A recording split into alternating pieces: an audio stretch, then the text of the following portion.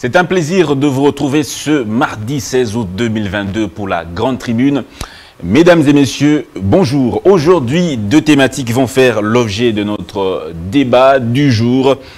Processus électoral, la CENI rassure-t-elle pour la présidentielle et toutes les élections générales de 2023 Deuxième sujet, qu'en est-il du projet 145 territoires lancés depuis l'année 2021. Voilà. Trois personnes sont invitées sur ce plateau pour débattre de ces deux sujets euh, d'actualité. J'ai euh, leader Kingonzi Joachim, président du groupement politique Milole Amboka. Leader Joachim, bonjour et merci de nous faire confiance. Bonjour Monsieur Dan, nous sommes ravis de pouvoir répondre à l'invitation que vous nous avions faite et nous saluons toute la population congolaise et naturellement les 90 millions de Congolais qui sont des Milelo-Amboka qui croient à notre pensée philosophique. Nous leur saluons et plus particulièrement nos concitoyens qui se trouvent à la partie est du pays, la partie martyrisée par des prédateurs ainsi que par des mouvements terroristes et nous leur assurons que nous serons toujours ensemble avec eux pour pouvoir relever les blasons ternis et leur redonner leur place d'antan. Merci beaucoup, monsieur leader Kingonzi. Mais c'est quoi C'est la première fois que vous êtes avec nous. C'est quoi Milelo Oui, Milelo euh, c'est une pensée ou encore une nouvelle philosophie qui existe dans le chef des Congolais, mais dont personne n'a eu à exprimer. Et nous avons reçu la vision et nous avons mis sur place cette structure dont la philosophie se base sur le joséphisme. Le joséphisme, c'est-à-dire tiré de Joseph, fils de Jacob. Ce n'est pas Joseph Kabila ni Joseph Kassavoubou, Joseph, fils de Jacob, dont la vie se résume des humiliations, des déshonneurs vers l'honneur et la gloire. Et c'est dans ce contexte que se situe la population congolaise qui est tellement humiliée depuis des temps et des temps, qui est tellement déshonorée que Milolamboka voudrait apporter leurs pleurs auprès des autorités qui gouvernent la République afin que leurs conditions de vie puissent évoluer. Et dans cette pensée philosophique de Milolamboka, nous l'attachons, le joséphisme, avec deux corollaires. Naturellement, la théorie de l'élite héritière, c'est-à-dire les gens qui n'ont jamais eu des ascendants, qui n'ont jamais eu des parents, qui ont existé depuis la gérance de ces pays, depuis l'accession du pays à l'indépendance. Parce que nous les euh, euh, circoncisions à cinq dynasties. La première dynastie ou le premier groupe, c'est celle des pères fondateurs ainsi que des évolués. La seconde dynastie, c'est celle de Mobutu et ses pères. La troisième, c'est la dynastie des musées Laurent des, donc là des musées avec l'avènement de l'AFDEL. La quatrième dynastie, c'est la dynastie de Joseph Kabila depuis l'avènement euh, de San City.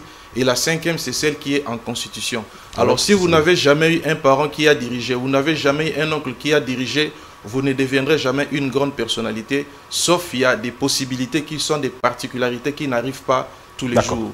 Et l'élite non héritière qui nous sommes, nous nous sommes en train de nous battre afin que nous obtenions la vraie alternance. Et cette vraie alternance n'arrivera que lorsque une élite non héritière fera des remises et reprises avec l'élite héritière. Très bien, merci beaucoup, leader Kingonzi Joachim. Trésor Kalala, initiateur du mouvement politique patriotique Sénat, la sentinelle de la nation. C'est aussi une première pour vous ici chez nous. Merci d'être avec nous.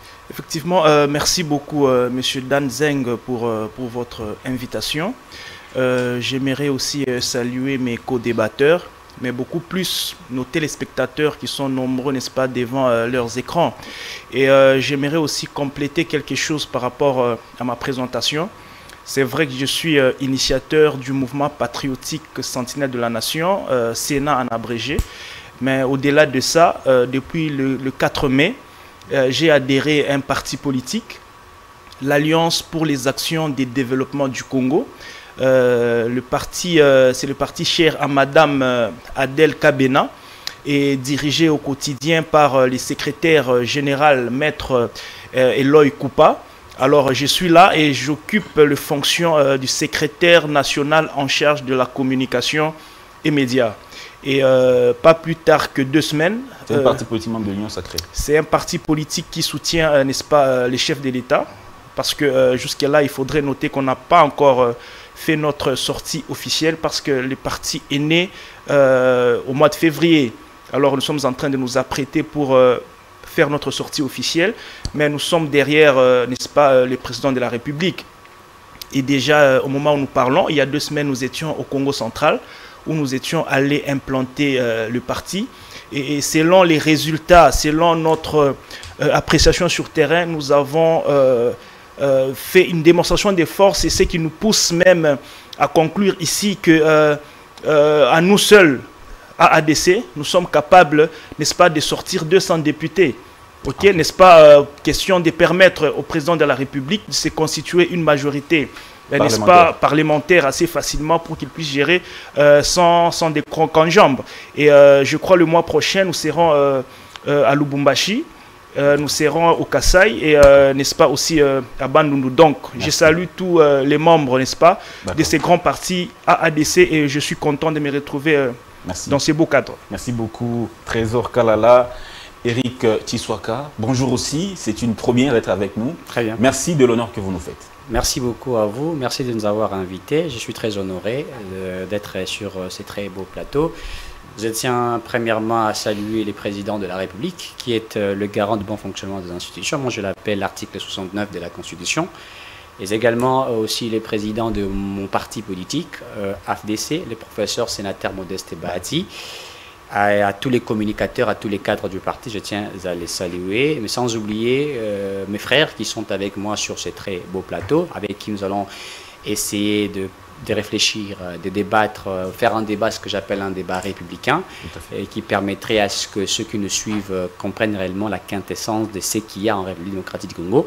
Mais sans oublier, je tiens aussi à saluer la population congolaise qui nous suit de partout. Euh, je crois que nous ne sommes pas plus intelligents que eux, mais peut-être que nous avons eu la chance d'être sur ces plateaux, mais nous voulions que ces débats soient partagés et que chacune de personnes et que chacun participe à ces débats. Merci, beaucoup, Eric Tiswaka, leader Kingonzi Joachim. Avant de lancer le sujet, est-ce qu'il y a un sujet d'actualité? En 30 secondes que vous voulez commenter? Bon, un sujet d'actualité, c'est que nous demandons à la population congolaise de ne pas céder dans ce qui se passe comme rumeur à propos des procédures judiciaires qui sont enclenchées à charge de certaines autorités politiques, notamment il y a l'honorable Jean-Marc Abound ainsi que l'honorable Matata Pogno, et qu'ils s'apaisantissent en attendant les vraies décisions judiciaires, parce que nous, Milolambo, quand nous estimons que le droit doit être dit et que les réparations doivent aussi être Jusque-là, le droit n'a pas été dit dans la Non, jusque-là, le droit est en train de trouver son bon nombre de chemins, mais malheureusement, il y a des manipulations. Les gens tentent de désinformer et de déséquilibrer la population pour dire qu'il y aurait certaines violations des procédures dans les procès Matata ou encore dans la procédure euh, euh, la face à Jean-Marc Aboud. Donc tout est encore normal. Merci beaucoup. Euh, Trésor, un sujet, vous souhaitez commenter, un sujet d'actualité? Bon, Seulement que je constate que euh, ces derniers temps, le Congo est devenu euh, un grand chantier, et particulièrement euh, la ville de Kinshasa. Vous constatez que chaque jour qui passe, il y a des routes qu'on est en train de construire, il y a des ponts qui se construisent, il y a, il y a des grandes actions que le président de la République est en train de faire. Et le fait qui m'a beaucoup marqué, c'est l'effet Onatra. Vous savez, dans ces pays, quand vous avez suivi le président des syndicalistes de Onatra, il vous dit que quand Mobutu a quitté ce pays, il a laissé 37 bateaux. Et Mouzé Kabila est venu. À son départ, il a laissé 22 bateaux. Curieusement, quand euh, celui que vous appelez euh, Kabila fils est venu, et après, quand il, son mandat prend fin, il nous laisse un bateau en panne. OK?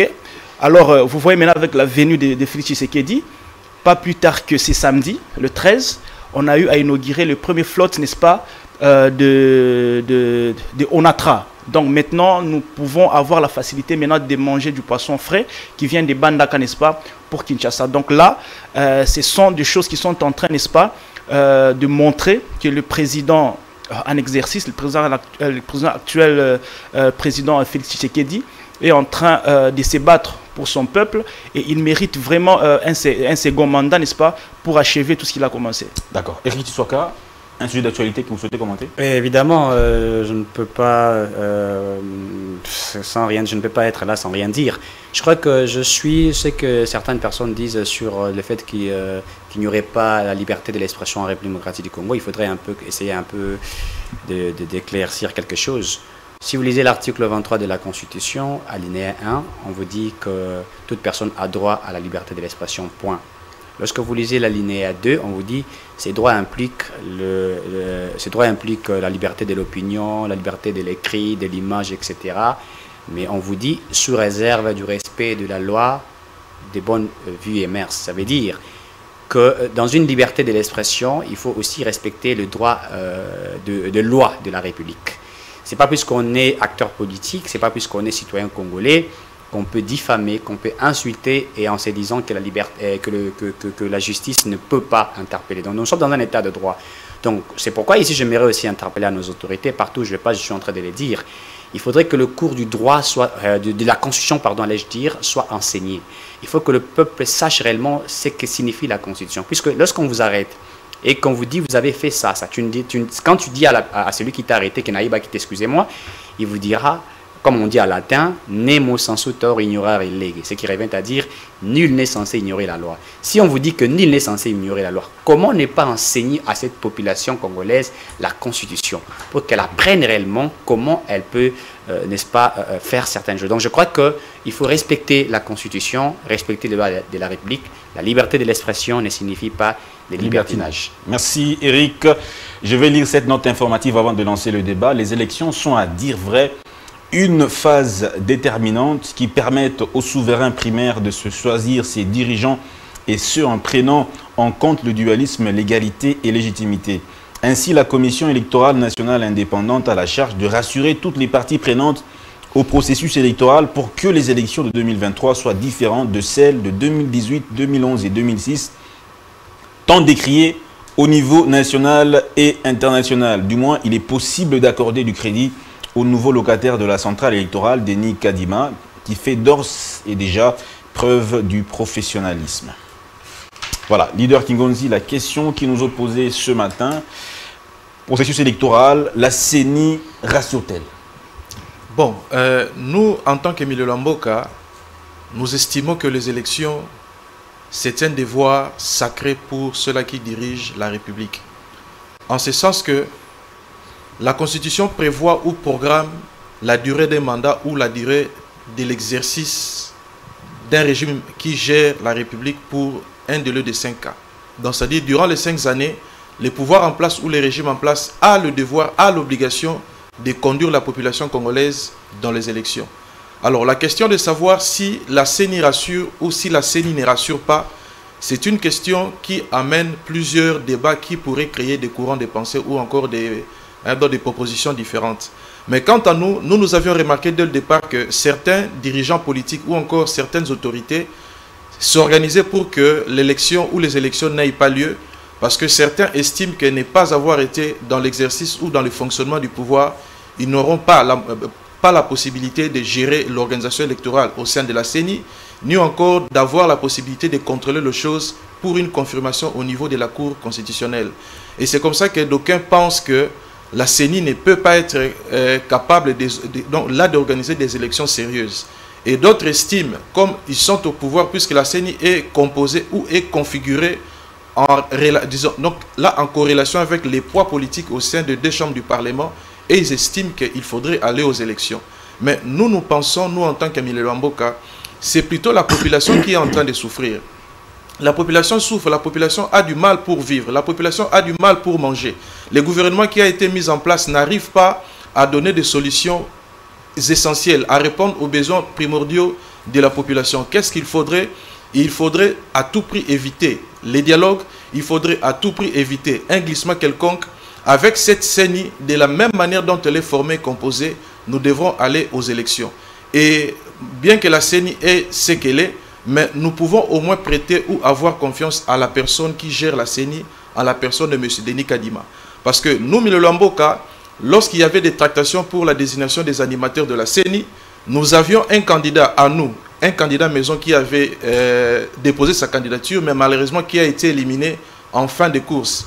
Et nous estimons aussi que la désignation de Denis Kadima était une des désignations aussi essentielles parce que la personne de Kadima Denis renferme des capacités importantes que notre pays peut bénéficier. Et c'est une personnalité de renommée internationale. Est-ce que le fait que la composition de la CENI ne rassure pas toute la classe politique, ça nous pousse, ça pousse, ça peut rassurer euh, d'une élection crédible en 2023 La CENI a la possibilité de nous rassurer des élections crédibles si elle arrive à mettre toutes les forces sur une table de discussion, afin qu'en discutant avec... Bon, pas un dialogue, dialogue dans le sens que voudraient les acteurs sociaux, mais un dialogue qui pourrait conduire à l'organisation des bonnes élections. Que la CENI euh, amène une nouvelle transparence. Les erreurs qui ont été commises par la CENI passée, que ces erreurs-là soient euh, revues pour que cela soit évité. Et avec l'expertise de M. Denis Kadima, c'est une personnalité de renommée internationale. Par rapport à son parcours, rien n'a été dit de mauvais sur ce qu'il a fait comme gestion ou sur ce qu'il a fait comme observation dans les organisations des différentes élections. ça ne nous, inquiète pas que certaines confessions religieuses pensent qu'il est proche du pouvoir Non, pas du tout. Parce que les confessions religieuses ne peuvent pas dire que M. Denis Kadima est proche du pouvoir parce que sa désignation a été euh, le préalable ou encore le processus qui émanait des confessions religieuses qui avaient les devoirs de désigner le président de la CENI. Parce que nous, Lamboka, nous avions estimé que lorsqu'on donne le, le mandat ou le devoir au sein de confessions religieuses de désigner quelqu'un qui pourrait présider à la destinée de la CENI, nous nous pensions que nos pères des églises allaient désigner un autre père de l'église parce que c'est une caution morale que la population et les constituants avaient remis entre les mains des confesseurs religieuses. Mais lorsqu'ils ont estimé qu'entre eux, il n'y avait aucune personne qui revêtait cette qualité et ces capacités, ils ont recouru à M. Denis Kadima qui était porté par la confession religieuse des Kimbanguistes. Et nous, nous estimons qu'il est temps pour que nous allions aux élections. M. Denis Kadima peut nous donner de bonnes, élections. Donc je comprends que la CENI pour vous rassure. Trésor Kalala, votre point de vue, est-ce que cette CENI rassure-t-elle? Euh, En fait, je dirais euh, la question est oui. La CENI euh, est en train de rassurer et d'ailleurs, c'est ça même les souhaits de tout le peuple congolais et même mon souhait particulièrement. Je veux que nous puissions avoir les élections en 2023. Vous savez, les mandats, il est des 5 ans, comme mon compatriote venait de le dire. Mais cependant, moi, j'ai un petit souci. par rapport à moi, j'aurais bien voulu que euh, nous puissions commencer d'abord par les recensements. Parce que nous t'attendons. Qui va aller aux élections Qui ne va pas aller aux élections? Nous sommes combien Qui est congolais et qui ne l'est pas? Ça, c'est une question très majeure. Alors, vous allez vous rendre compte que depuis les cycles électoraux que nous avions eus depuis 2006, 2011, 2018, on n'a jamais su nous sommes combien et qui est congolais, qui ne l'est pas. C'est une question très importante. Donc moi, je crois qu'on aurait bien voulu commencer d'abord par les recensements. Ensuite, vous savez que aujourd'hui nous sommes au quatrième cycle électoral. On n'a jamais respecté la loi électorale, notamment dans ses articles 173 à 222. C'est près de 50 articles qui se violent chaque année. Voilà, plutôt chaque cycle. Vous savez, la loi électorale a évolué. Même la loi actuelle, c'est, elle date, en fait, c'est celle de 2006 qu'on est en train, n'est-ce pas, de réviser. Parce que la loi électorale a été mise en place, la première loi électorale, c'était en 2006. Elle a évolué, on l'a modifiée en 2015. OK? On l'a encore modifiée en 2017 en prévision des élections de 2018. Et là, nous avons une actuelle loi électorale, n'est-ce pas, qui doit, n'est-ce pas, euh, n'est-ce pas, régir les élections euh, de 2023. Mais vous vous rendrez compte que c'est la même loi. Et à chaque fois qu'on est en train de changer la loi, les articles que je viens d'évoquer ici ne sont jamais touchés. Oui, ça revient toujours. Donc, les dispositions des articles 73 à, 22, en fait, ça, ça prône, n'est-ce pas, les élections locales, municipales, urbaines, provinciale, présidentielle et sénatoriale. Mais nous nous rendons compte que de tous les cycles électoraux, n'est-ce pas, on met l'accent que sur les élections présidentielles, législatives. nationales et provinciales. Voilà. Mais on n'a jamais touché aux élections locales, urbaines, n'est-ce pas, euh, municipales. Alors moi, je dis, nous, nous, sommes, n'est-ce pas, euh, emballés dans, un mensonge d'État qui a, qui a duré près de 20 ans. Et moi, je crois qu'avec l'actuel régime, il faudrait que les choses changent. Donc moi, je me dis, c'est vrai que nous puissions aller aux élections, mais pourquoi pas payer les arriérés électoraux? Pourquoi pas respecter la loi? Donc moi, moi je crois qu'on aurait bien voulu commencer par les élections locales, municipales, urbaines, provinciales et ainsi de suite. Très bien. Euh, dans une minute rapidement, euh, vous avez dit que l'actuelle CENI est en train de rassurer par ce qu'elle est en train de faire. Qu'est-ce que, qu'est-ce, quelles sont les actions que la CENI a posées qui montrent, qui vous rassurent, vous, que nous aurons des bonnes élections en 2023 Bon, euh, déjà, à entendre euh, Monsieur euh, Denis Kadima, qui est le président, n'est-ce pas, de cette institution, vous sentez qu'il y a une, une volonté et même une détermination, n'est-ce pas, n'est-ce pas, à pouvoir nous amener aux élections. Je crois que à la fin de l'année passée ou le début de, de, cette année, il a eu à affirmer qu'il y a eu déjà des fonds qui étaient déboursés, n'est-ce pas, pour d'abord les, les, charrois, euh, n'est-ce pas, euh, automobiles. et, là, il y a déjà une commande, n'est-ce pas polémique avec euh, l'IGF qui pensait que, ben voilà, il y aurait sous-facturation. Bon, moi, je, ne veux pas entrer là-bas. Moi, moi, je m'en tiens à ce que le président Denis Kadima avait dit, parce que vous posez la question de savoir quelles sont les actions déjà qu'on a menées, ok? Et il nous a rassuré, dernièrement, c'était au Palais du Peuple, qu'il y a déjà la commande n'est-ce pas, euh, des kits électoraux. Une partie déjà serait déjà commandée et bientôt là, ça sera euh, à Kinshasa. Donc il y a déjà des signaux comme ça qui démontrent qu'il y aura, n'est-ce pas, élection. Même moi, en tant qu'individu, j'ai un peu de doute je peux un peu douter parce que avec les temps qui nous restent, euh, on peut avoir les élections, mais ça, ça pourrait être dans, dans, dans, la précipitation. Mais le souhait du peuple congolais et mon souhait, c'est que nous puissions avoir les élections. Et selon ce que Denis Kadima nous présente, n'est-ce pas, on dirait qu'il y aura élection. Mais attention, tout peut arriver qu'en 2023, euh, qu'on n'ait pas euh, les élections. Et si cela arrivait, moi je crois que le ciel ne doit pas nous tomber euh, sur la tête, oui, effectivement, parce que c'est bien d'aller aux élections, mais quelle qualité des élections? Est-ce qu'il faudrait juste aller aux élections parce qu'il y a des gens qui veulent remplacer Félix Tshisekedi? S'il n'y a pas élection non, mais s'il n'y a pas élection, euh, vous savez, nous, nous sommes légalistes. Euh, la Constitution est claire. Je, vais vous renvoyer carrément, n'est-ce pas, euh, à, l'article 70, n'est-ce pas? Mais ça, ça ne serait pas de mauvaise foi. S'il y a, n'est-ce pas, des conditions techniques, mhm. ok, qui, font à ce qu'il n'y ait pas élection, eh bien, nous allons recourir à l'article 70, ce qui n'est pas le souhait, n'est-ce pas, de Congolais et même le souhait des Trésors Kalala qui vous parle. Merci beaucoup, Trésor Kalala. Eric Tissouaka, processus électoral, la CENI rassure-t-elle? Euh, je crois que la CENI est en train de rassurer. Je crois que j'ai suivi la sortie médiatique euh, de Denis Kadima qui a même dit que nous allons aller au vote euh, semi-électronique puisque en 2018 nous en avions appliqué puisque avec la RDC n'a pas encore de technologie avancée pour que nous ayons des élections électroniques à 100% puisqu'il y a une différence entre les élections semi-électroniques et électroniques. Les élections semi-électroniques, c'est-à-dire vous avez peut-être des machines, vous allez vous voter, il y a un papier qui, qui sort, un papier qu'on peut imprimer. Mais les élections euh, électroniques sont des élections où vous vous organisez que par les machines, c'est-à-dire vous pouvez avoir votre téléphone, vous votez, comme ça s'est fait dans les pays organisés.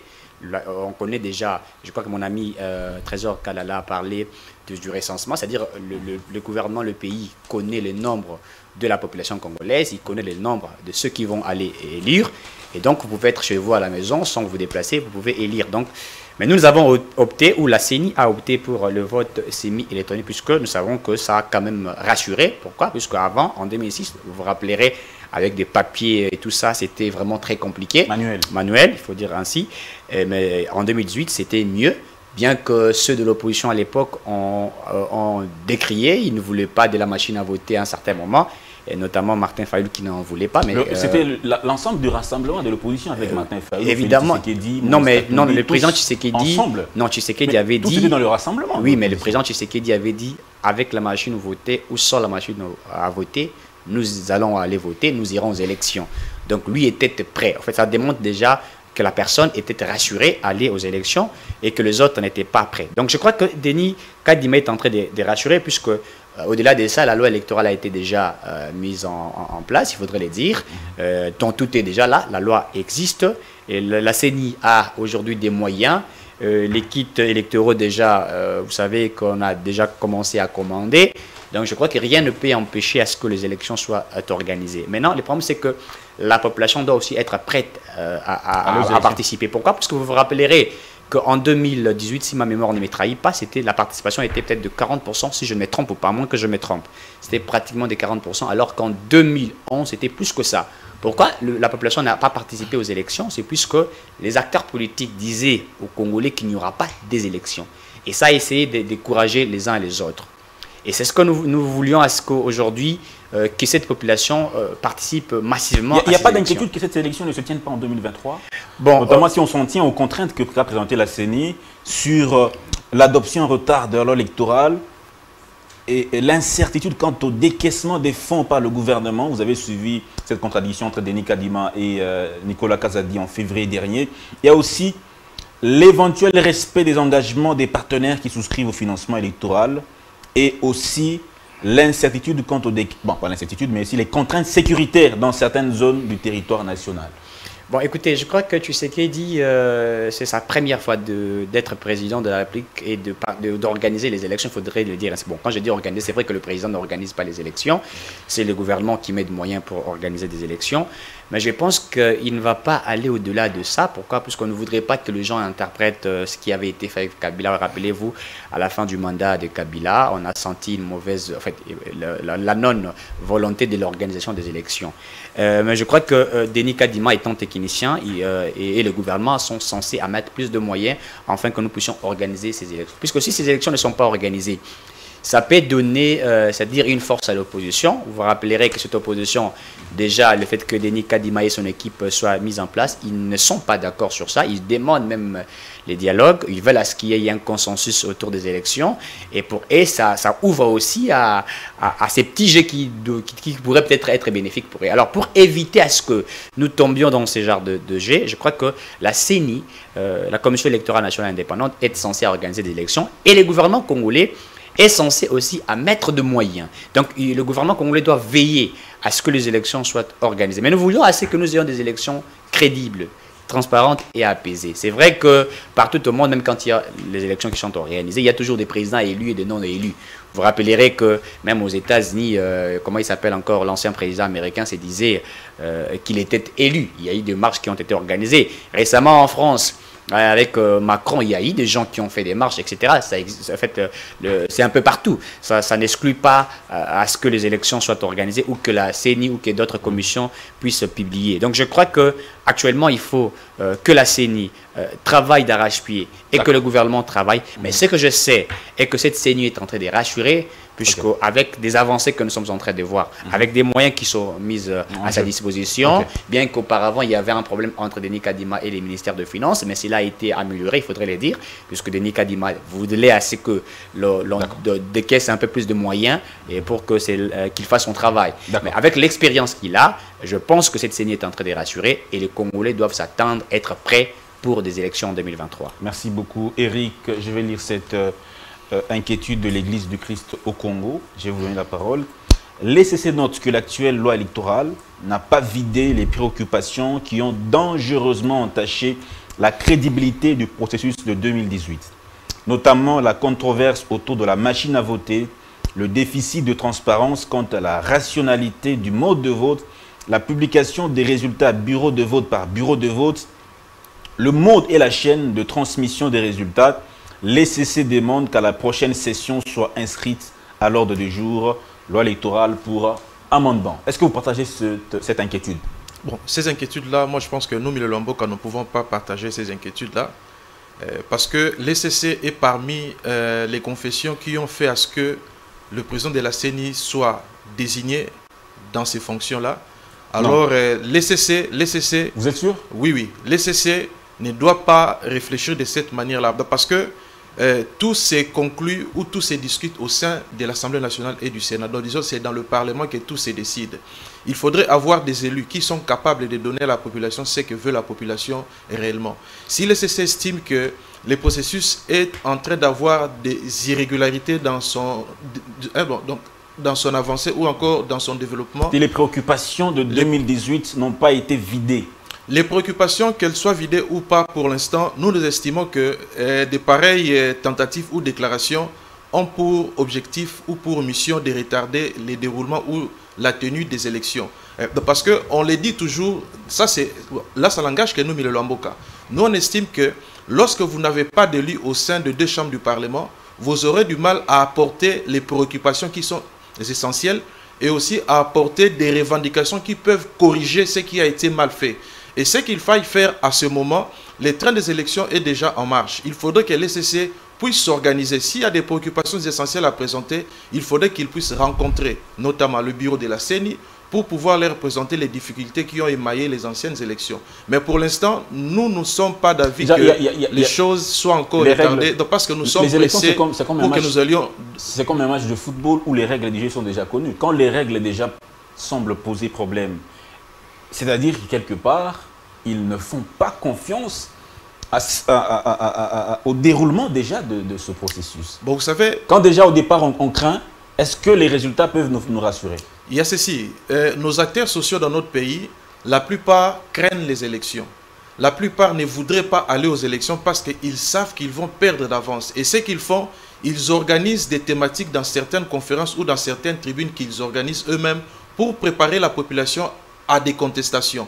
Mais nous, Milolombo, quand nous estimons que les contestations que ceux-là veulent préparer pour que les gens refusent les résultats des élections. Et ce qui est important pour les CC, c'est de préparer des bons candidats, c'est de préparer des bonnes personnes que lorsqu'ils seront dans les hémicycles, ils vont apporter des améliorations par rapport à ce qui a été fait.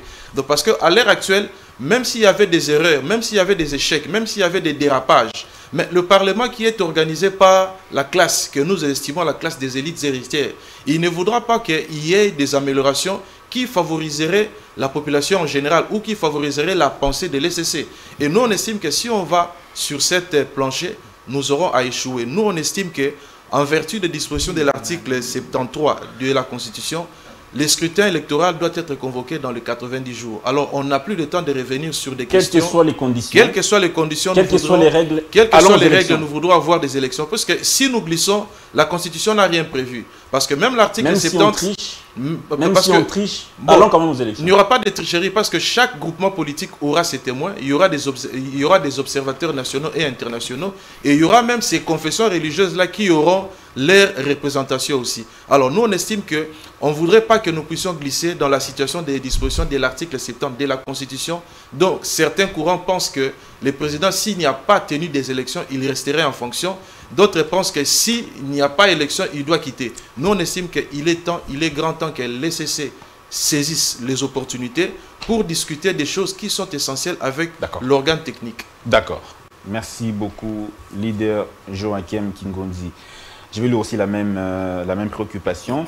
L'ECC note que l'actuelle loi électorale n'a pas vidé les préoccupations qui ont dangereusement entaché la crédibilité du processus de 2018 notamment la controverse autour de la machine à voter, le déficit de transparence quant à la rationalité du mode de vote, la publication des résultats bureau de vote par bureau de vote, le mode et la chaîne de transmission des résultats. Enfin, l'ECC demande qu'à la prochaine session, l'électorale soit inscrite pour amendement. Est-ce que vous partagez cette inquiétude? Euh, Monsieur Danzeng, merci pour, euh, pour le verbe que vous m'accordez encore. Euh, vous savez, nous devons avoir les élections. Et les bonnes élections. Je crois que les préoccupations que l'ECC est en train de soulever, mais Denis Kadima venait de répondre à ça. Et d'ailleurs, il a été paraphrasé ici sur ces plateaux par mon compatriote euh, euh, Eric Tiswaka. Kadima était clair par rapport, n'est-ce pas, à la question euh, du mode, de la manière dont nous allons voter. Est-ce que nous allons voter par un mode électronique, par papier ou semi-électronique? Kadima a dit clairement que nous irons par un mode semi-électronique. Comme en 2018. Comme en 2018, c'est-à-dire... Toute l'opposition qui n'était pas d'accord et les partis traînantes qui doutaient quand même de l'usage de cette machine de façon vous êtes témoin, vous et moi, nous sommes dans ces pays, il y, a, des gens qui ont crié jour et nuit, pas de machine à voter, pas de machine à voter, mais notre président actuel a dit avec ou sans machine, nous irons aux élections. Et tous l'ont rejoint, n'est-ce pas? Et ils ont voté avec la machine. Et il y en a qui se réclament aujourd'hui président élu, mais n'est-ce pas, c'était par rapport, n'est-ce pas, aux élections, n'est-ce pas, qui sont provenus de, cette façon-là de voter. Donc moi, je crois que l'ECC doit avoir ces, apaisements. L'air n'est plus, ou l'heure n'est plus, n'est-ce pas, euh, à, la distraction. Le train des élections est déjà en marche. Nous devons tous nous embarquer pour aller aux élections en 2023. Donc la question qui est celle de savoir machine à voter ou pas, je crois que le mode que Denis Kadima, n'est-ce pas, a proposé, en fait le mode qu'on a utilisé, n'est-ce pas, euh, en 2018, moi je crois que euh, c'est les meilleurs parce que la machine n'a constitué que d'une imprimante, n'est-ce pas? Je vais choisir, n'est-ce pas, euh, mon candidat. Et puis j'appuie sur le bouton, on va, on l'imprime. Et puis il a même dit que nous allons comparer, n'est-ce pas, le nombre de votants dans la machine et des bulletins, n'est-ce pas, déposés dans l'urne. et au-delà de ça, il a répondu à leurs questions. Encore quand il demande l'affichage et consort, il a dit, après le dépouillement, n'est-ce pas, les résultats seront affichés, n'est-ce pas, bureau des votes par bureau de vote. C'est comme en 2018. Donc, euh, alors moi, je a crois, pas- moi, je crois que l'SCC veut nous plonger dans un dilatoire, n'est-ce pas? Peut-être euh, qu'ils sont, euh, n'est-ce pas, derrière cer- cer- certains politiciens qui ne veulent pas aller aux élections parce qu'ils savent qu'ils vont perdre devant Félix Tshisekedi. Parce qu'ici, il faudrait noter qu'il serait impossible de battre Félix Tshisekedi en 2023 Impossible. avec toutes les réalisations qu'il est en train de réaliser. Je- Impossible. Je dis bien impossible. Quelqu'un les qui vient au pouvoir, qui trouve un pays dans un long trou comme, comme les nôtres, déjà il vous amène 4 millions d'enfants à l'école, il vous réveille le service national, il commence à prôner la production interne. Vous voyez, il y a une construction d'une entreprise des raffineries de l'or Malgré, l'inflation, Vous voyez, Malgré, non, il y a euh, pas- quelle les inflation? quelle, quelle inflation? Quelle inflation? Depuis que Félix Tshisekedi est là,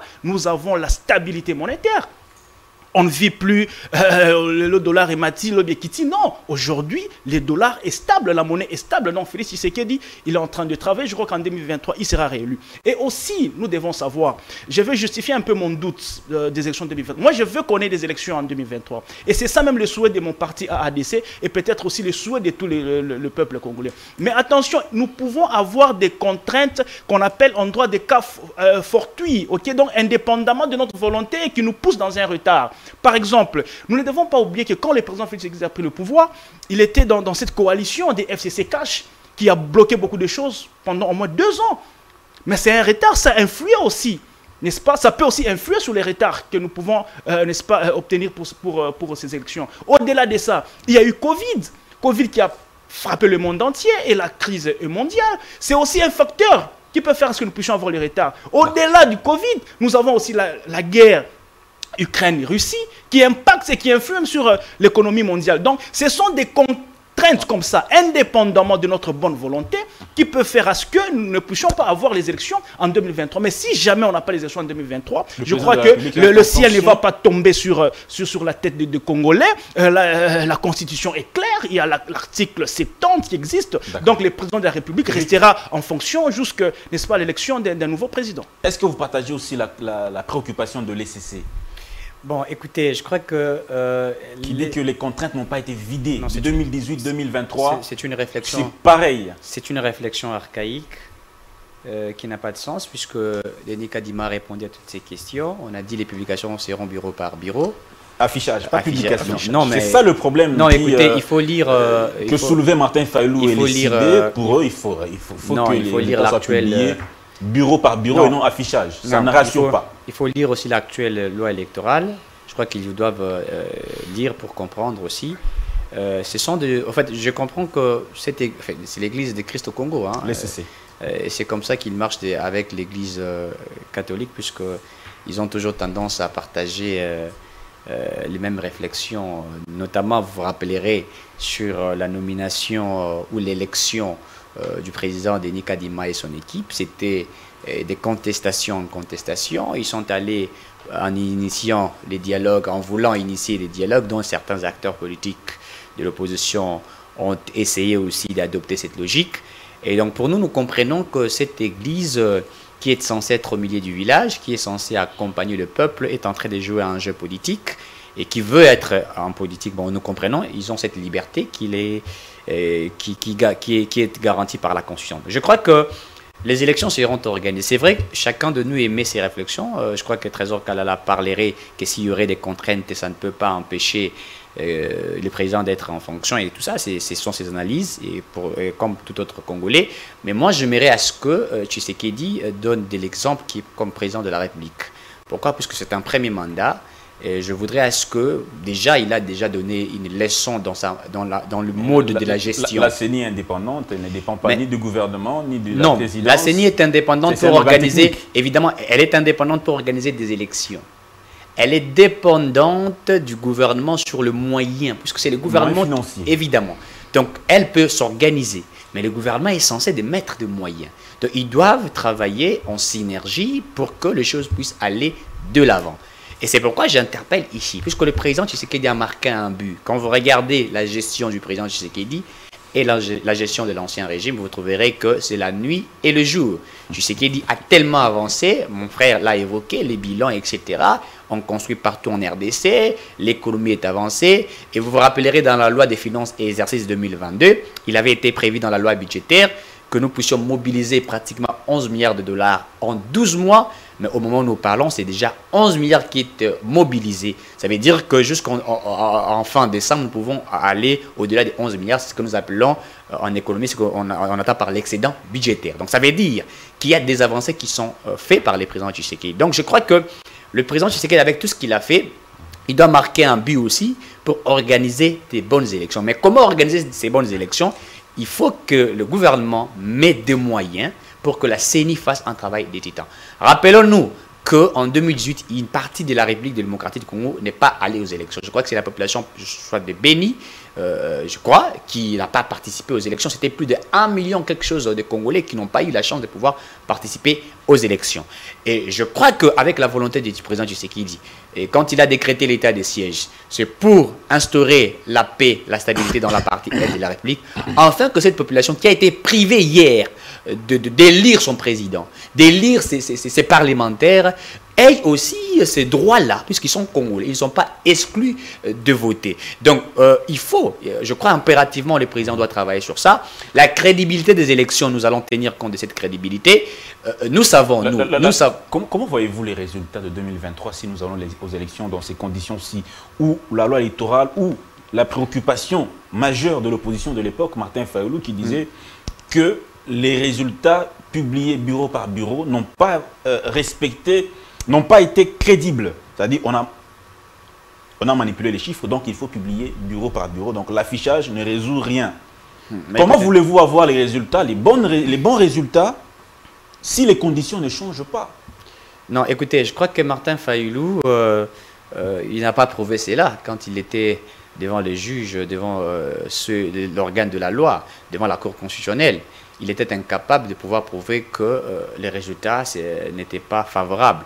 Et donc, euh, il ne peut que dire ça, c'est sa, manière de faire les choses. Je l'ai évoqué ici au départ, même en France, quand on a organisé des élections, il y a eu des marches, on a vu cela, même aux États-Unis. C'est une liberté de pouvoir parler. Il veut, être, euh, il veut aussi avoir, euh, il veut que le peuple sache qu'il existe. Bon, c'est normal, il est, c'est un acteur politique. Mais je crois que la crédibilité des élections, c'est la bonne organisation. Vous savez, on peut afficher par bureau, par bureau ou ne pas afficher. Mais si les élections sont organisées en toute crédibilité, c'est ça, c'est une bonne chose. Voyez-vous, c'est vrai qu'on peut peut-être afficher des résultats, mais afficher tout en trichant. Qu'est-ce qui vous rassure que si on, a, on affichait bureau par bureau, c'est ça, c'est ça le vrai résultat? On peut manigancer, ça, ça existe. Voyez-vous, donc, mais je crois que la volonté du président Tshisekedi, c'est euh, organiser des élections et des bonnes élections. Mais aussi, il faudrait dire que nous allons aux élections. Le peuple sait qui il va élire, puisque le peuple sait c'est euh, euh, ce qui est fait. La CENI de Kadima elle-même ne rassure pas tout le monde. Non, non, écoutez, la, la CENI, la, CENI de Kadima rassure. La CENI de Kadima est une CENI, euh, n'est-ce pas, organisée. Vous voyez qu'il travaille dans, en tout professionnalisme. C'est un homme qui, qui est rempli de l'éthique, qui est rempli d'une très bonne logique qui, démontre réellement qu'il veut servir la nation. Ce n'est pas cette CENI de, de Corneille Nanga et de Bassengue. Vous vous rappellerez que Bassengue était vice-président de la CENI, au même moment cadre d'un parti politique PPRD. Il s'est retrouvé à Kingaka, il est en train de prendre du champagne. Vous vous rappellerez de, euh, Corneille Nanga les autres. Mais euh, Denis Kadima, ce n'est pas, pas une telle personne. Je crois que la CENI rassure et que les, peuples congolais doivent aussi se rassurer. En 2023, il y aura des élections. Merci beaucoup. Leader Kimgonzi, on va chuter avec vous sur cette question des élections. 2023 euh, approche. 2023, c'est dans quelques mois déjà qui, pointe à l'horizon. Je vais vous lire euh, une, note, de, une réaction de, Denis Kadima qui dit euh, c'est là nous sommes déjà en train de vivre les opérations électorales où Denis Kadima dit en février 2022 que nous nous engageons à organiser les élections dans le délai qui nous est imparti malgré toutes les contraintes financières et logistiques qui se présentent à nous. Nous ne mettons en avant aucun prétexte pour ne pas avancer. Cette déclaration de Denis Kadima peut rassurer tout le monde qu'il y aura bien une élection en 2023. Oui, euh, la CENI est un organe technique qui donne ses déclarations au travers de son porte-parole qui est le président. Ça nous rassure parce que nous voulons bel et bien des élections dans le délai constitutionnel. Et il appartient au gouvernement de trouver les moyens et d'en disposer auprès de la CENI pour que nous y arrivions. Parce que lorsque nous faisions déjà des calculs, nous ne sommes pas encore pendant l'organisation des opérations des enrôlements. Et nous nous posons la question, ces opérations des enrôlements vont avoir lieu quand? Tantôt, ça sera pour euh, hein, le mois de novembre ou le mois de décembre.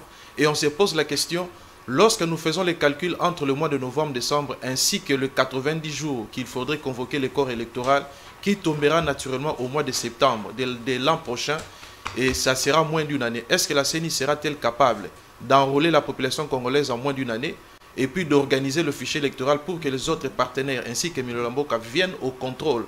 Ça, c'est une question que nous nous posons. Mais nous, nous sommes rassurés puisque nous tenons à tout prix que les élections aient lieu. S'il n'y a pas des élections, la population risque de réagir d'une manière que même le Lamboka n'arriverait pas à arrêter la population. S'il n'y a pas des élections... Comment peut réagir la population s'il n'y a pas d'élection La population risque de se soulever. La population risque hein, de faire ce que le gouvernement aura même du mal à gérer.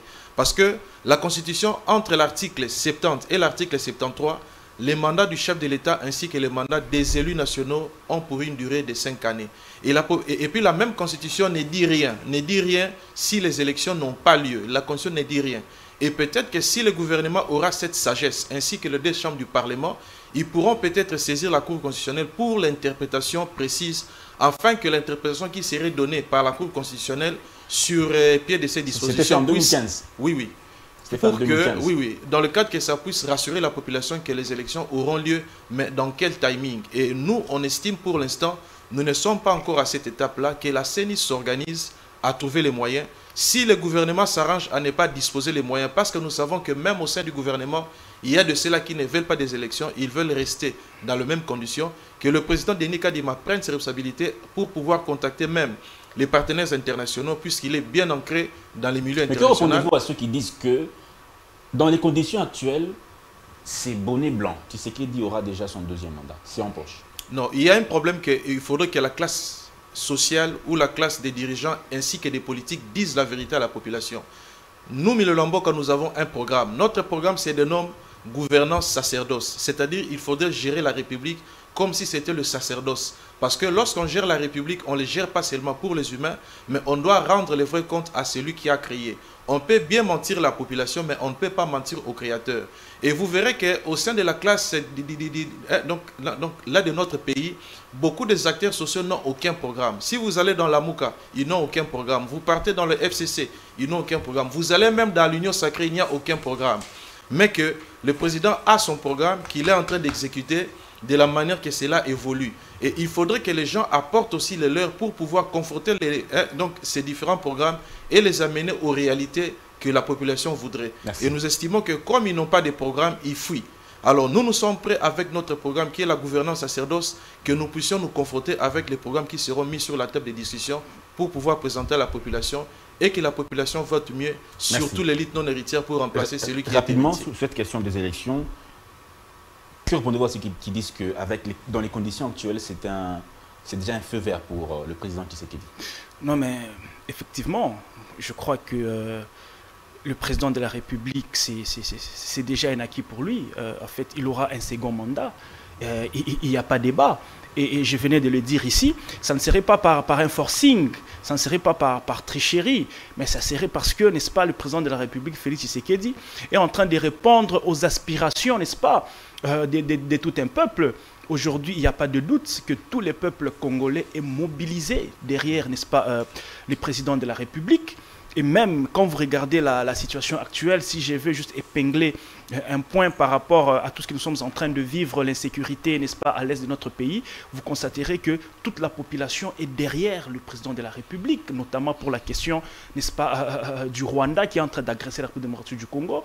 Dernièrement, la population s'est soulevée contre, n'est-ce pas, la MONUSCO. Vous sentez qu'il n'y a pas de discours politique là. Tout le monde est derrière le président Tshisekedi parce que ils sont en train de croire que c'est l'homme providentiel pour ces pays. J'étais en train de dire dernièrement sur le plateau de l'un de vos, de vos collègues que euh, combattre ou perdre Félix Tshisekedi maintenant mhm. ou faire des sortes à ce que le président Tshisekedi ne soit pas élu en 2023, n'est-ce pas? Ça, ça, reculerait ces pays même euh, des 100 ans, n'est-ce pas? Parce que euh, pour le moment, la seule personne qui a une vision claire, qui a un bon leadership très éclairé pour ces pays, c'est le président Félix Tshisekedi. Tout ce que nous sommes en train de vivre dans trois ans, nous ne l'avons jamais vécu dans ces pays. C'est la première fois dans ces pays qu'on peut mobiliser euh, un budget de 1 milliard de dollars. C'est la première fois que nous pouvons avoir le réserve d'échange qui avoisine le 4 milliards de dollars. Donc il y a beaucoup de choses comme ça. C'est la première fois dans ces pays qu'il y a une raffinerie de l'or qui est construite. C'est la première fois qu'il y a une raffinerie de cobalt.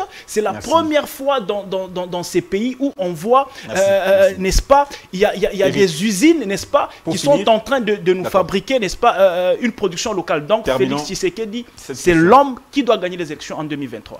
Terminons cette question. Tshisekedi 2023, dans les conditions actuelles, c'est ni Parlement, Cour constitutionnelle, à lui, 2023 assuré. Ben, écoutez, c'est au peuple euh, de, de, de, déterminer cela.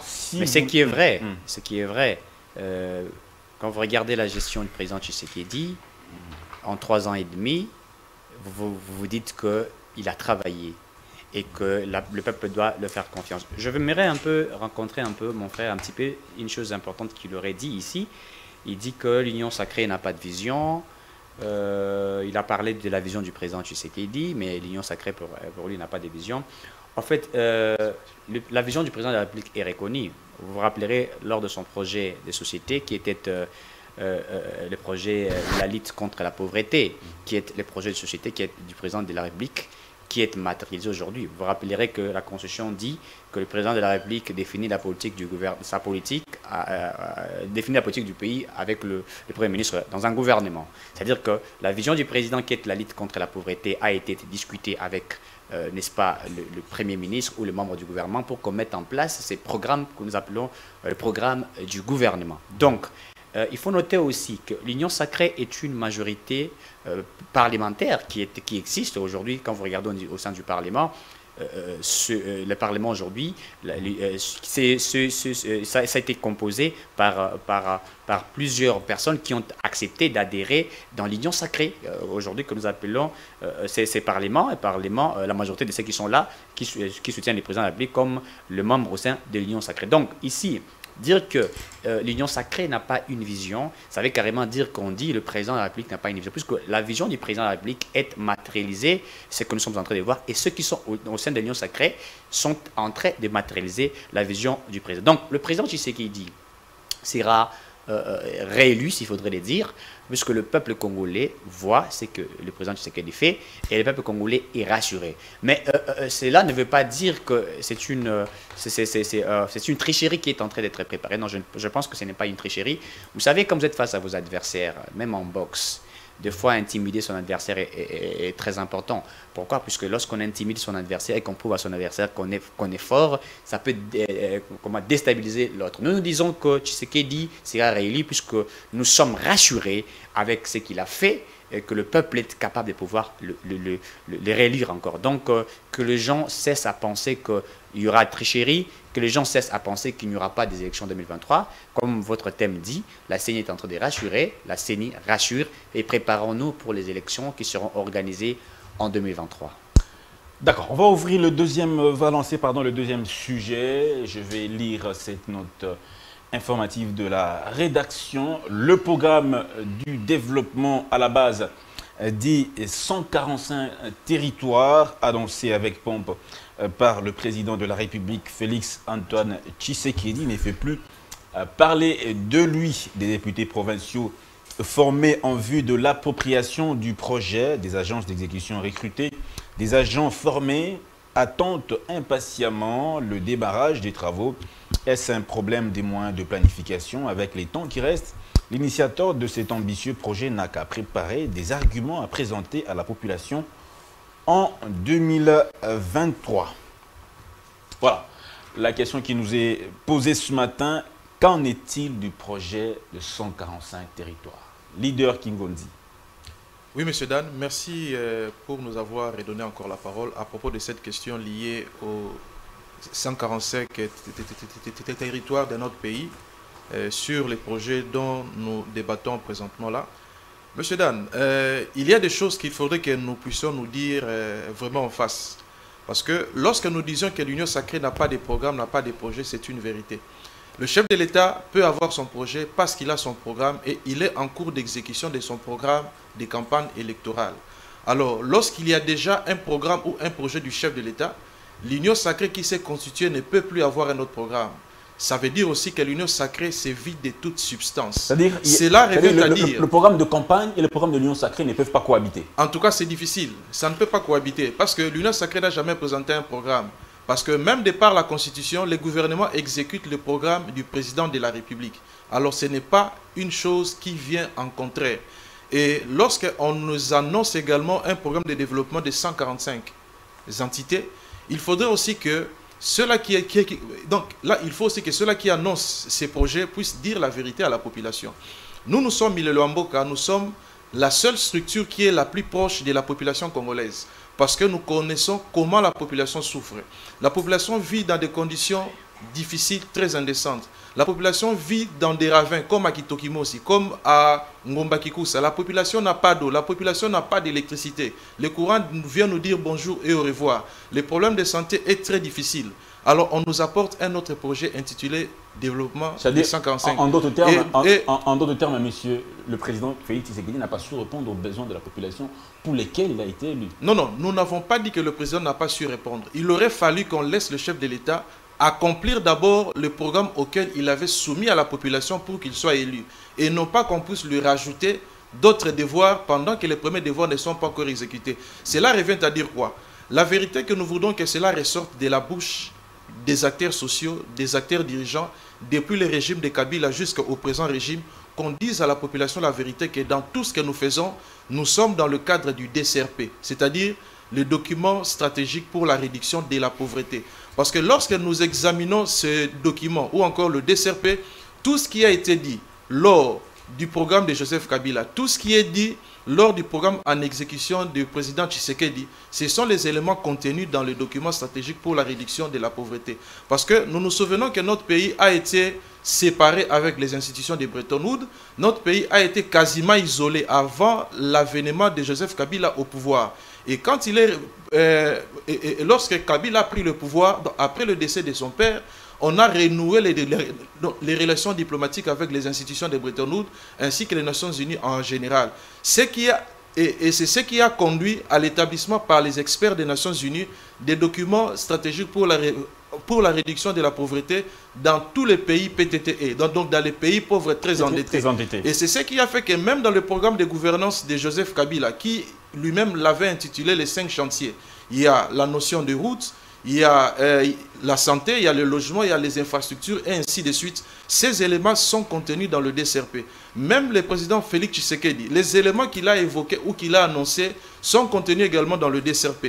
Même ce qui est dit dans le cadre des 145 entités qui doivent être développées, ce sont des éléments aussi qui sont contenus dans les 145. C'est un projet qui ne devait pas être normalement. En tout cas, ça ne devait pas nécessairement être. Si ça doit être, il faudrait que ça soit euh, versé dans le projet initial du programme de gouvernance du président de la République. et, et les plus grands problèmes dans ces projets, c'est quoi? Ce n'est pas l'existence ou l'inexistence. Les plus grands problèmes, c'est dans la gestion et dans la matérialisation de ces projets. Parce que nous sommes un État de droit de par la Constitution. Et l'État de droit doit se résumer par trois critères essentiels, notamment l'élection du chef de l'État au suffrage universel direct, la séparation des pouvoirs et puis que le contrôle parlementaire. Mais lorsque nous voyons déjà la classe qui dirige, les élites héritières, ils nous ont imposé une gérontocratie parlementaire. En ce sens que ce sont des vieux qui gèrent les deux chambres du Parlement et la gestion de cette gérontocratie va empêcher les contrôles parlementaires sur le gouvernement. Et même si on mettait en exécution le programme des 145 entités, il n'y aura personne pour contrôler cela et nous risquons de vivre un échec. Et pour finir, je vois notre pays comme le léopard du football congolais. On peut avoir n'importe quel coach. Les chefs de l'État se comportent comme un coach, mais lorsque nous avons des joueurs qui n'ont pas le sens des responsabilités pour marquer au poteau, il n'y aura aucun résultat. C'est pour dire que le gouvernement Samaloukonde doit normalement démissionner. La gérontocratie parlementaire qui gère notre Parlement doit partir pour laisser la place aux personnes qui sont capables de faire exécuter des projets qui ont raison d'être pour... On retient que le chef d'État n'a pas de problème dans, dans ces Le chef d'État n'a pas de problème, mais c'est la gérontocratie et puis les exécutants de l'Union sacrée qui posent problème. D'accord. Trésor la même question. Qu'en est-il du projet des 145 territoires? Euh, merci beaucoup euh, pour la question, mais je, suis en train de sourire euh, à entendre mon frère. Alors, j'aimerais pas trop me plonger dans, dans, ce qu'il a dit, mais j'aimerais ici qu'on note une différence. J'aimerais pas qu'on puisse mêler les choses. Il existe une différence entre un projet de société et un programme politique de gestion. C'est deux choses différentes, ok? Un projet de société, c'est lent, sur une longue portée. Dans mon projet de société, je peux faire des projections de 30 ans, 50 ans, voire même 100 ans au-delà, dans un projet de société, ok? Mais un programme politique de gestion, ce sont des choses qu'on peut faire immédiatement qui touchent directement la population, ok? À long terme, à court terme, on peut aller même à long terme, mais beaucoup plus. Un programme de gestion, ok, politique, c'est que ce sont des choses, des nécessités actuelles qui résolvent le problème directement. Ok, donc il ne faudrait pas qu'on mêle les choses. Projet de société, programme politique de gestion, c'est deux choses différentes. Mais entendre mon compatriote et même certains Congolais lorsqu'ils passent sur, sur des plateaux, vous sentez qu'ils mélangent des choses sans, sans maîtriser en fait ce qu'ils sont en train de dire. Alors, 145 territoires, je crois que c'est un très bon programme. Quand vous, vous essayez de le lire, ok, vous sentez que euh, c'est vraiment un bon coup de maître. Mais là, je suis en train euh, de, n'est-ce pas, de, de, de, m'insurger contre les ministères, n'est-ce pas, du plan, n'est-ce pas, qui pilotent, n'est-ce pas, euh, ces projets. Nous avons l'impression que les ministères du plan ne communiquent pas suffisamment n'est-ce pas, sur ces projets, parce que vous devez savoir qu'il avait lancé, qu'il avait été lancé le 8 février 2022. C'est un projet euh, qui pèse pratiquement 1 milliard 600 millions, 666 millions de dollars, ok? Et dans la répartition, n'est-ce pas, on a affecté 10 millions euh, dans, dans, chaque, non, dans chaque territoire. 10 millions chaque territoire, sur les 145 territoires. Donc chaque territoire recevra 10 millions, pas par province, c'est différent. Voilà. Et c'est un bon projet. Quand vous entrez euh, à l'intérieur, vous vous rendez compte qu'il vise beaucoup plus de population, n'est-ce pas, rurale. ok? On prévoit notamment des marchés, des routes, ok, euh, des écoles, des bâtiments administratifs. Vous avez parlé de février, 2000, février 2022, ça fait six mois. Six mois pratiquement. Ok, c'est comme ça que moi je dis le ministère du plan. on ne sait pas ce qui, est pilote Le, en fait, on ne sait pas encore ce qui est fait. Ces projets, n'est-ce pas, est piloté par un ministère. Et ici, c'est le ministère du, plan, dirigé par le ministre, n'est-ce pas, Mwando Simba, qui doit nous éclairer où est-ce que nous en sommes, n'est-ce pas, avec ces projets. Parce que vous devez savoir que ces projets devaient être exécutés, n'est-ce pas, par palier. Notamment, le premier palier devait déjà être exécuté en 2021, déjà, avec 300 millions de dollars. On a plus un retard. Le deuxième palier devait être exécuté en 2022 avec 700 millions de dollars. Et enfin, le troisième palier devait être en 2023 avec, n'est-ce pas, 600 millions de dollars. Mais nous constatons effectivement avec, avec vous qu'il y a déjà un retard qui est accusé. C'est comme ça que moi je dis, le ministère du Plan qui pilote ces projets ne communique pas suffisamment. Alors que dans son fond, c'est un bon projet. En tout cas, c'est une question très technique. Ok, c'est très technique pour savoir s'il peut se rattraper ou pas, parce que déjà nous avons largement dépassé le temps du premier palier. Là, nous devons être déjà n'est-ce pas, en train d'exécuter le, deuxième, palier, qui, n'est-ce pas, qui, qui pèserait 700 euh, euh, millions, de, dollars. Mais jusque-là, on ne voit pas effectivement ce qui est en train de, de, se faire. Donc, je ne sais pas si c'est manque de volonté, c'est manque de financement. C'est comme ça que je dis le ministère du plan, doit réellement communiquer sur cette question. Mais en soi, c'est un très bon projet qui peut sortir beaucoup de nos populations, n'est-ce pas, dans la misère. Parce que vous devez savoir que ces projets visent aussi n'est-ce pas, à sortir les gens. Merci. Je donne un exemple précis, j'ai fini par là. Par exemple, dans le cadre de l'électricité, on vous dit il y a 14, il n'y a que 14% de nos populations euh, euh, rurales qui ont accès à l'électricité. 14% seulement. Et 38% de nos populations qui vivent dans des milieux urbaine. Alors, urbain, vous laisse dire. Alors, avec ce, projet de développement des 145 territoires, on peut améliorer jusqu'à aller à 70%. Donc, moi, je crois que c'est un projet qui doit être exécuté. Mais si jusque-là, on ne voit pas des signaux, je crois que c'est une bonne question qui, qui, qui devrait, n'est-ce pas, être posée au ministère du Plan, question que nous puissions être éclairés parce que c'était un projet déjà lancé. Eric, tu la même question. Qu'en est-il du projet de 145 territoires? Très bien. Euh, Dan Zeng, vous savez, euh, certains concepts, euh, quand vous l'employez mal, votre esprit est imbibé dans le mal et ça vous affaiblit même hein, dans certains concepts. Je crois que mon ami euh, qui est en face de moi avec son organisation Milelo, vous sentez que les Milelo est un peu dans beaucoup de choses. Donc il faut ôter ce, genre, ce caractère plaintif. On ne peut pas avoir un peuple Milelo. Il faut avoir un peuple qui se bat, qui veut son indépendance, pas qui pleurniche. Le temps de pleurnicher est révolu. Les jeunes nigériens, kenyans sont de jeunes évolués. Ils n'attendent pas que ce que l'État doit faire d'eux. Ils s'imposent aussi ce qu'ils doivent faire pour l'État.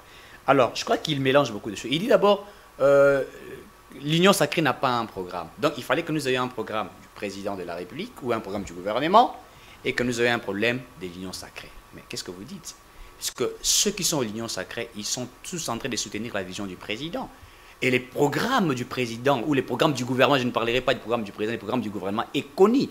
Le président a présenté ce que nous appelons un projet de société, projet de sa campagne électorale, qui a été matérialisé conformément à la Constitution. Le président de la République définit un programme du gouvernement, a défini les programmes de la nation, hein, comme on appelle ça le programme du gouvernement, avec le Premier ministre et les membres du gouvernement. Donc vous voulez que l'Union sacrée ait un programme et que le président de la République ait un programme. Et finalement, qu'est-ce que vous voulez? Il faut, être, il faut être normal. Alors, il dit, euh, le projet de, 145 euh, territoires, ça en est de trop et tout ça, il y a eu beaucoup de projets, il n'y a pas de récits. Écoutez, lorsqu'on élabore un contrat, par exemple, dans un projet où un contrat est élaboré, il y a des fois des ajouts dans un contrat, c'est ce que nous appelons des avénats. Un avénat, en principe, ne vient pas modifier un contrat qui existe, non. Un avénat vient compléter dans un, dans un, dans un contrat qui existe. Ça veut dire, on peut avoir 100 projets qui est là et qu'un autre projet surgit. Donc ça ne veut pas dire que ceux, les projets qui sont là sont annulés. Non, vous n'allez pas refuser la continuité des projets. Vous n'allez pas refuser qu'il y ait des, des, personnes qui réfléchissent, qui disent... conflit de compétences. Non, non, non, non c'est pas, non, non, c'est pas conflit de compétences. Les projets sont censés être là, être élaborés, et après, même si les gouvernements et que ces, euh, ces régimes passaient, il y a ce que nous appelons la continuité du, pouvoir. C'est-à-dire, ceux qui sont censés être là peuvent continuer ce qui a été fait ou ce qui a été déjà prémédité. L'État existe. Donc, il ne faut pas faire ce qu'on attend en français par les toïboï ou une confusion. Et donc, par là, il faudrait noter. Et il faut aussi comprendre que dans un programme, il y a aussi ce qu'on appelle des programmes euh, annexes qui sont ajoutés. Même quand a le gouvernement a élaboré un programme du gouvernement, il y a des ajouts qui sont toujours là. Ça, il faudrait noter. Il ne faut pas avoir un caractère plaintif Milelo, ce n'est pas une très bonne chose. Alors, le programme de développement des 145 territoires, c'est un bon programme qui est initié, un programme de développement. Mais nous avons eu tant de, des projets ici, comme nous appelons ça, Chile, Gelou et les autres qui sont, qui sont, qui zéro sont, qui, zéro qui sont en train d'être, d'ailleurs, zéro trou est exécuté partout, à Kinshasa, on construit partout, vous le savez. Et donc, quand on parle du programme de développement des 145 territoires, moi je l'ai dit, c'est un, euh, un, projet phare. Pourquoi? Parce que ces projets commencent le développement de la base. Ça veut dire que c'est un programme phare qui doit être respecté, dont l'État congolais doit mettre les moyens afin que cela soit exécuté pour que toutes nos provinces soient développées. Pour l'instant, il n'y a pas assez d'informations sur le déroulement ou le, euh, la mise en œuvre de ce projet. La population est dans le flou. Non, je crois que... Euh, Trésor a parlé du manque de communication du ministère du Plan. Qu'est-ce qu'il est en train de faire maintenant? Je crois que, je crois que euh, ces programmes, c'est euh, la question qui se pose aujourd'hui, à quand la faisabilité? C'est ça la question fondamentale que le peuple doit s'attendre. À quand la faisabilité de ces programmes? Et là, il faudrait maintenant demander au gouvernement, qui est censé, euh, n'est-ce pas, donner plus de l'éclaircissement à travers euh, le, ministre du, Plan, je crois, qui est censé de le faire aussi, également le ministre de la Communication, qui est censé aussi, et porte-parole du gouvernement, qui est censé aussi dire à la population congolaise, on en est où avec, avec ces programmes? Mais dire que c'est des trop, je crois que c'est un peu plus, euh, en fait, c'est manquer un peu plus de, de, de, de, de la sagesse. Donc je crois que euh, ces programmes, euh, s'il était exécuté, ça serait un programme qui va amener notre pays à pouvoir se développer. Ce sont des programmes qui ont été euh, exécutés dans les pays comme les États-Unis, par exemple, où vous avez, comme vous savez, les États-Unis, chaque État est, autonome, ça, le mode de fonctionnement. Donc, ça va développer chaque territoire, chaque province. Et c'est par là que surgira, n'est-ce pas, le développement. Et moi, j'avais appelé ces, projets de développement des 145 territoires comme un projet, j'appelle ça comme, vous savez, quand nous jouons des cartes, on appelle ça Junker. C'est-à-dire que c'est un projet, c'est un projet euh, euh, qui est vraiment un projet phare, qui est un projet sensible, qui est un projet qui peut apporter, n'est-ce pas, un développement en République démocratique Mais c'est que nous sommes simplement en train de déplorer. Euh, moi, je, l'ai dit en tant qu'acteur politique, en tant qu'analyste, nous ne voulions pas qu'il ait ce que nous avions assisté à l'époque sur des programmes ou des projets où il y a eu plus de, de bavires et détournements, etc. Nous voulons à ce que et tout ça et tout ça et tout ça. Voilà, nous voulons à ce que ce soit un programme qui sera beaucoup plus suivi. Un programme puisque je l'ai appelé un programme phare un programme qui ferait du président Tshisekedi, je l'appelle euh, une référence au fait. Alors, pour que Tshisekedi soit une référence, il faut que ces programmes soient meilleurement exécutés par des personnes habilitées à pouvoir exécuter et qui aient aussi des sanctions. Et c'est par là que je fais aussi appel à l'inspection générale des finances. Il y, a, il, y a, des projets qui ont été initiés par l'actuel euh, régime, mais qui, on ne sait pas jusqu'à ce jour où est-ce qu'on en est. Par exemple, le projet 100 jours. Aujourd'hui, on ne sait pas les maisons les maisons qui devraient être fabriquées par euh, l'entreprise de Sani Jamal. On non, mais écoutez, les maisons étaient euh, la mise en, vente aux enchères en, Tanzanie. Il y a les routes qui devaient être construites, il y a les sautes moutons, on l'a vu, c'est construit. Mais c'est ce que j'ai dit. Euh, c'est pourquoi j'interpelle à nos autorités. Nous ne voulions pas que nous assistions à ce que nous avions vu hier un programme qui est organisé, un projet qui est organisé et dont il y a, nous avons suivi ce que nous appelons des détournements, etc. Donc ça, ça doit être suivi euh, avec plus de rigueur. Et puisque je l'ai évoqué ici, c'est un programme phare pour le président de la République, il faudrait que les gens ne se disent pas que les programmes sont créé et pour permettre à ce qu'il y ait des personnes qui, doivent s'amasser euh, de moyens, etc.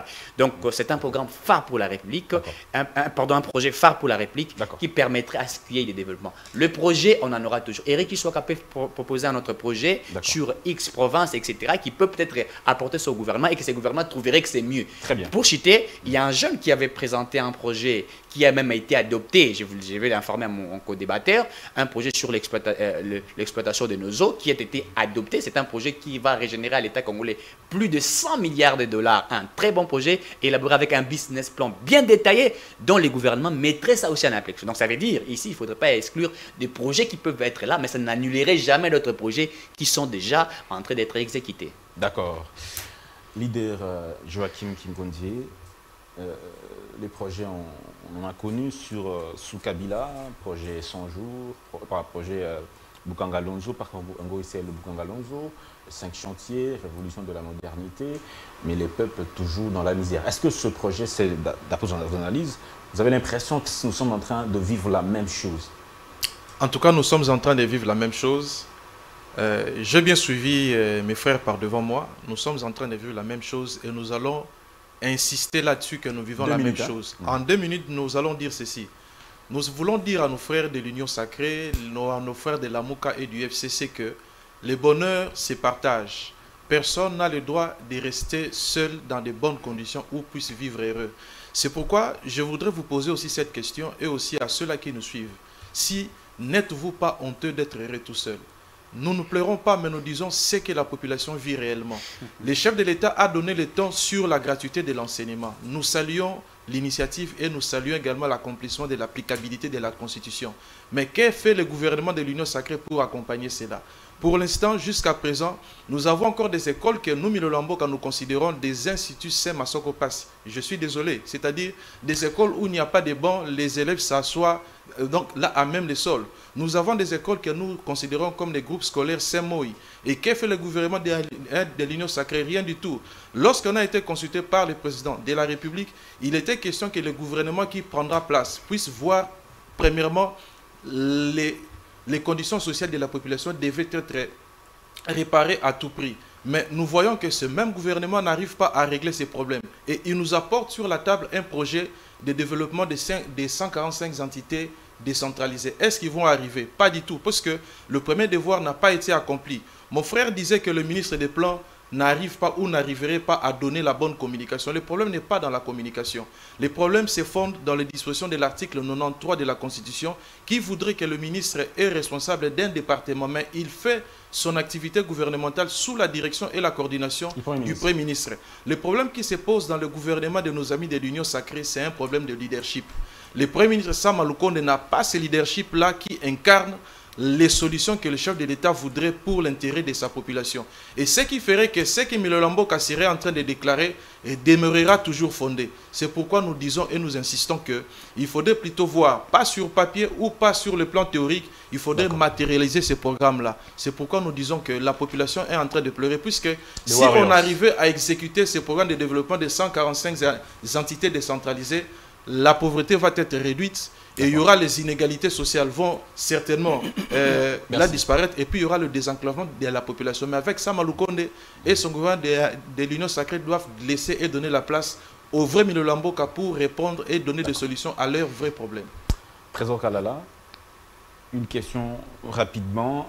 Est-ce que nous ne risquons pas de vivre la même chose qu'on a déjà vécu avec les projets qui ont été lancés avant, dont aujourd'hui on ne sait même pas la suite? Est-ce que ce ne serait pas la même chose?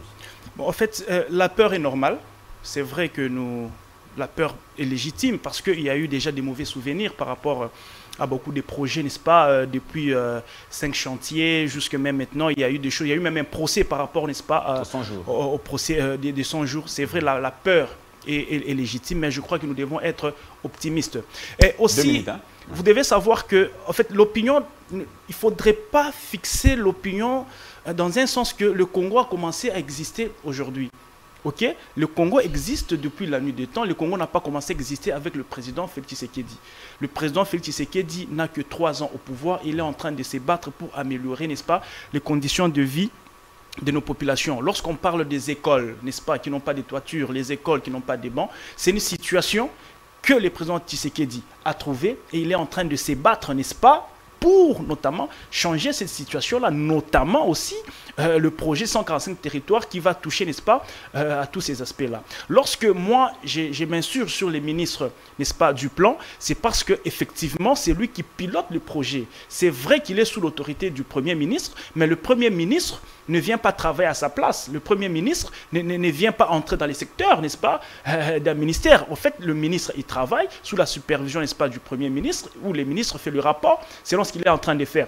Mais ici, nous avons constaté que le projet de 145 territoires a été, n'est-ce pas, attribué à un ministère bien précis, le ministère du Plan, dirigé par le ministre Mando Simba. Mais sur, le terrain, on ne voit pas encore les démarrages, n'est-ce pas, euh, des, travaux. Et, lui, il s'était, il ne communique pas pendant que c'est à lui qu'on a confié, n'est-ce pas, euh, n'est-ce pas, ce programme-là, parce que c'est lui qui a eu même à le présenter, je crois c'était euh, au Pullman. Mais jusque-là, on constate qu'il ne travaille, bon, pas qu'il ne travaille pas, mais qu'il ne communique pas suffisamment. C'est comme ça qu'ici, la personne habilitée, n'est-ce pas, de répondre aux questions que nous sommes en train de nous poser ici, c'est lui Ok? Donc ce n'est pas euh, le, Premier ministre. Pour finir euh, euh, totalement, nous devons savoir que le président de la République, il est là, il écoute le peuple congolais, il a trouvé beaucoup de situations qui ne marchaient pas et petit à petit, il est en train de résoudre, n'est-ce pas, le problème du Congolais, comme je le disais dans mon introduction.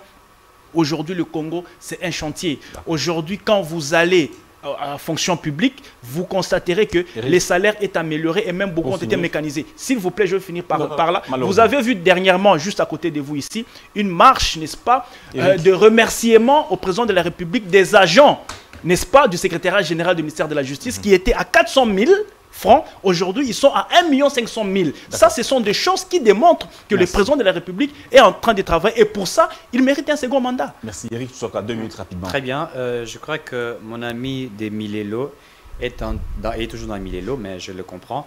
Euh, je vous informe qu'il y a des écoles qui sont construites. Euh, donc, quand on a initié la gratuité de l'enseignement, on n'a pas trouvé des écoles, on a trouvé des écoles qui euh, ne fonctionnaient pas euh, réellement, mais il y a des écoles qui sont construites. Il faudrait être informé.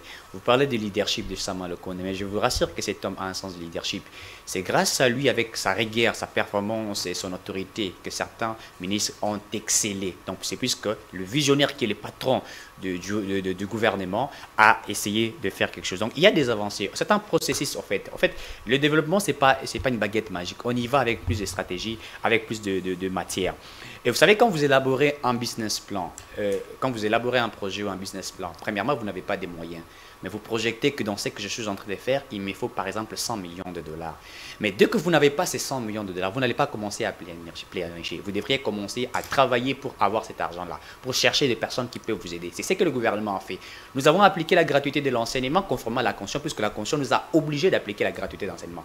Il a fallu maintenant, nous, d'avoir les moyens. Comment avoir les moyens? Le gouvernement devrait mobiliser les recettes. Et c'est en mobilisant les recettes qu'aujourd'hui, on a su construire des écoles. Notamment, lorsque le budget de l'État a quitté de 3 milliards 800 millions de dollars à 11 milliards Aujourd'hui, vous êtes d'accord avec moi que récemment, les primes de la gratuité ont été octroyées à tous les enseignants. Ça veut carrément dire que Sama Lukonde a travaillé. Aujourd'hui, les fonctionnaires et agents de l'État, leur salaire est augmenté de 30%, dissipé à 45%. Ça veut dire Sama Lukonde a travaillé. Aujourd'hui, les fonctionnaires et agents de l'État sont en train d'être soignés gratuitement par l'État congolais. Ça veut dire que Sama Lukonde a travaillé. Ah, donc, il ne faut pas être en quête d'un poste pour parler des mille Voyons ce que les autres sont en train de faire. Là où il y a un petit problème, un petit souci, disons qu'ici il y a un petit souci, il y a un problème, nous demandons à ce que le gouvernement fasse ici. Mais faire une liste autour de la personne pour dire que Samaloko n'a pas travaillé, c'est jeter de l'opprobre au président de la République. Je crois qu'il faudrait que nous soyons sérieux dans ce que nous sommes en train de faire. Merci beaucoup Eric Tissouaka, merci beaucoup Trésor Kalala, merci beaucoup leader Kingondi. Merci aussi à vous, chers téléspectateurs. Nous espérons que vous avez aimé ce numéro de Grande Tribune. On se retrouve demain avec le même plaisir et d'autres invités pour en débattre. Au revoir.